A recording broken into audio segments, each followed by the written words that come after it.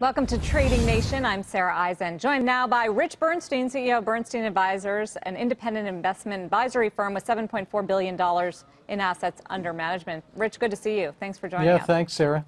So, what do you make of this push pull we're seeing in the markets? Better earnings on one hand, but rising inflation expectations and interest rates on the other. Which one wins? Yeah, I think you described it perfectly when you said push pull. This is a tug of war that's very normal in a later cycle environment where you have bad things happening. For instance, you know, the 10 year going above 3%. But then you have good things happening. In other words, the nominal economy is growing faster than people think, and earnings are generally quite strong. So it's a push or pull. I would argue, and I think my firm would argue at this point in the cycle, that earnings, the good news still wins out. That we're not at the point where uh, the number of bad things overwhelms the number of good things. That may come later in the cycle, but for now, I think it'll pay to stay bullish. So that's a buy the dip recommendation. We'll continue to work in this bull market? Well, I'm about the worst short term trader you could meet, so I don't know about necessarily buy the dip, but I would say, you know, if you have a reasonable investment time frame, I think you're rewarded by, by hanging on here. What about the move in Treasury yields? What does it signal to you? There's this big debate on Wall Street of whether it's actually a regime shift or if it's just a natural progression in what's seen as a healthier economy with a little bit of benign inflation. Yeah, I think it's actually both. To answer your question there, I think it is a natural phenomenon at this point in the cycle for interest rates to go up. And, and as you start getting production bottlenecks in the economy and tight labor markets and that sort of thing, and inflation beginning to heat up. However, I also think it's a regime shift. And by that I mean that if you look at how investors have been positioned for most of the past at least five years, if not longer, they've certainly been positioned for continued disinflation and deflation.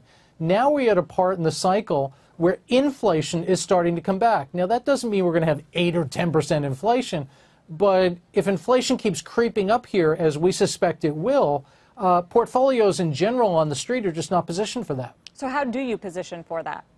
I think you have to have you have to think in terms of pro nominal growth. The key word now is nominal, right? People always like to talk about pro growth. The question you have to ask is it pro real growth or mm-hmm. pro nominal growth? The answer now is pro nominal growth.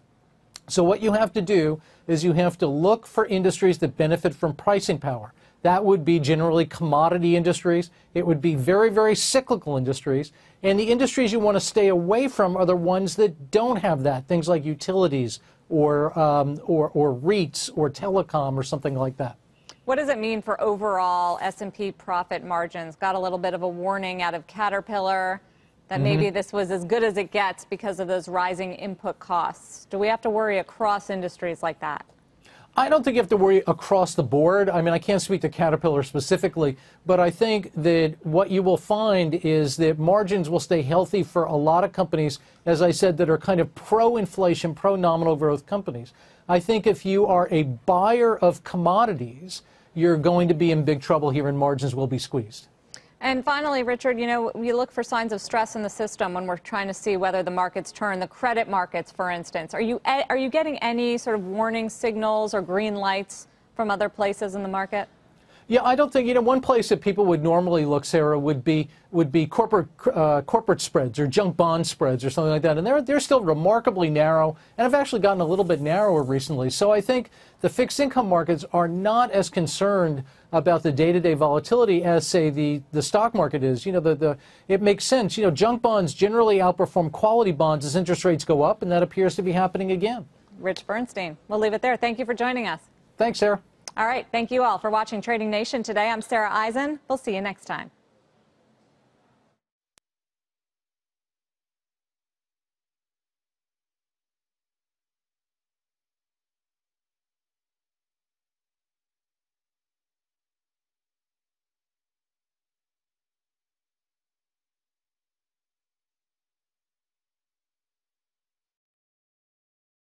Hey there, thanks for checking out CNBC on YouTube. Be sure to subscribe to stay up to date on all of the day's biggest stories. You can also click on any of the videos around me to watch the latest from CNBC.